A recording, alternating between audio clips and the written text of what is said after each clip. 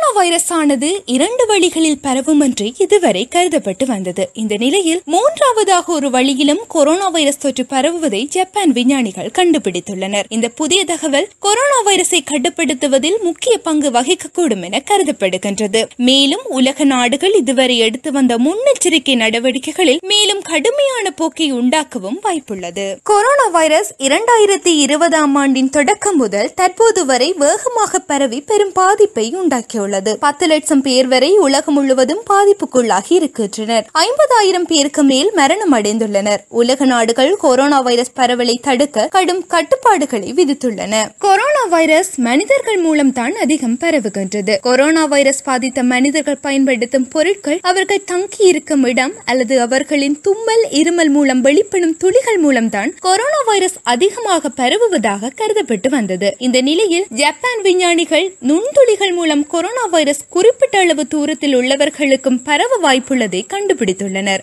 இதன் மூலம் பேசிக் கொண்டிருக்கும் போதும் அருகருகே இருக்கும் போதும் தும்மல் இருமல் இல்லாமலேயே நுண்துளிகள் மூலம் இந்த வைரஸ் மனிதர்களிடையே பரவக்கூடும் என கண்டுபிடித்துள்ளனர். இது தும்மல் இருமல் மூலம் வெளியாகும் துளிகள் மூலம் கொரோனா வைரஸ் பரவுவதை காட்டிலும் முற்றிலும் வித்தியாசமானது. மேலும் இந்த நுண்துளிகள் மூலம் தான் கொரோனா வைரஸ் வேகமாகவும் அதிக தீவிரத்துடனும் பரவியிருக்க வேண்டும் என நம்மால் எளிதாக உணர முடிகின்றது. ஏற்கனவே கொரோனா வைரஸ் தும்மல் இருமல் துளிகள் மூலம் பரவுவதை மருத்துவ முகக்கவசம் அல்லது என் நைன்டி ஃபைவ் முகக்கவசம் மூலம் தடுத்து நிறுத்த முடியாது என சில நிபுணர்கள் கூறி வரும் நிலையில் நுண்துளிகள் மூலம் பரவினால் அதை தடுப்பது இன்னும் கடினமாகும். இந்த நுண்துளிகள் பற்றி செய்யப்பட்ட ஆய்வு ஒன்றில் ஒரு வகுப்பறையில் ஒரு மனிதர் இருமினால் சில நொடிகளில் ஒரு லட்சம் நுண்துளிகள் வரை பரவும் என கண்டறியப்பட்டுள்ளது. அந்த நுண்துளிகள் கொரோனா வைரஸை கடத்தி கொண்டு சென்று தொற்று பலருக்கும் பரவ காரணமாக அமைந்துவிடும். இதே போல தானே நுண்துளிகள் அல்லாத துளிகள் பரவும் போதும் நடக்கின்றது. இல்லை அதில் தான்